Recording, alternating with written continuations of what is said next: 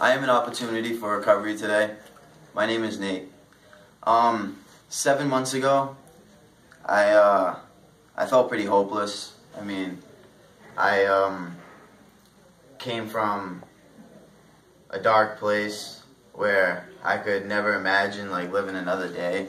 It, it, you know, like a lot of thoughts were like juggling in my mind, and I was trying to think to myself like, what can I do to better myself? Like, what can I do to become a better person in society and you know for my family and for my own sake? Well, a friend told me about a program called Amber's Place, and I uh, moved all the way out from New Bedford, Massachusetts with probably a trash bag and a duffel bag full of clothes. I mean, I was scared, lost, and I really didn't know like what I was getting myself into. But where I am today, it's just like I look back and it amazes me. I'm I'm thinking like I never thought I had the courage or the hope to actually like become somebody that would help somebody else in recovery. And after volunteering for the last six months for Hope for New Hampshire, um, you know, it helped me create myself and find myself and, you know, become a better person. What I uh, what I learned more about myself though is like I have a big heart for people, and you know, since people reached out to me and helped me so easily, and you know, opened their hearts, their homes, and their hands for me, I just I I decided, you know, like what's the best gift than to give back. So I um I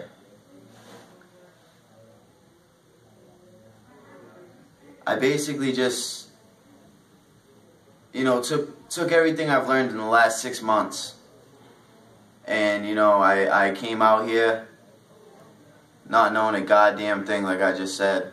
Um, but one thing that I had on my mind was, you know, all the friends that I lost, family members that I lost, um, you know, because I was selfish, and I decided that drugs were more important than myself knowing that like a year before I actually came out here, a very close friend to me that I considered a brother my whole life passed away from an overdose. And that's where it hit hard. That's why I just choked up. Um, you know, there's a lot on my mind when I get into the discussion, but it just it feels good to express where I'm at now and like where I stand as as a person in recovery because like seven months, like I never thought I'd make it that far. Like I do it for him, I do it for me, and I do it just to be a role model for everybody around me, like to show them like, yo, this is really possible. Like th- this could happen.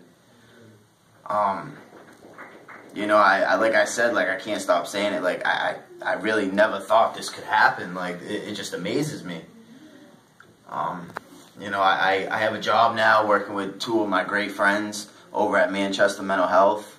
Like six, seven years ago, I was on the other side of the table in a crisis center, and now I'm, you know, talking to people, relating to people, and you know, telling them that there's a there's another side of the bridge here. Like, you don't always have to like, you know, feel frightened and feel discouraged and just want to jump off. Like, you don't have to feel lost. Like, there's always a map someone's willing to hand you, and you know, you can take that and just run and and just never look back because you know like that's something I still do to, to till today. Like I look back and I'm just like, yo, like like this kind of scares me. You know that kind of like makes me feel a certain type of way. But you know what? It's just like if I could be the man I once was coming out here, knowing I had nothing but clothes and a wallet that had not a lot of cash in it, not knowing where I was gonna live, what I was gonna eat that day, and you know, everything can ch- change and turn around for the better.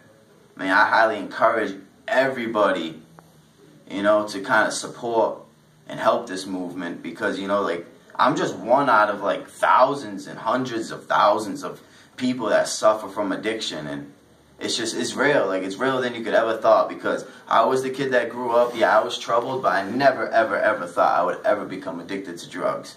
Well, you know, it's real. It happens. And you know, it's it's unfortunate. It's bad decisions. It, it's you know, people, places, and things. That's the best thing I've ever heard because you know, you are who you hang around, and I truly believe that. So, with that being said, I highly encourage everybody to just, you know, just support the movement.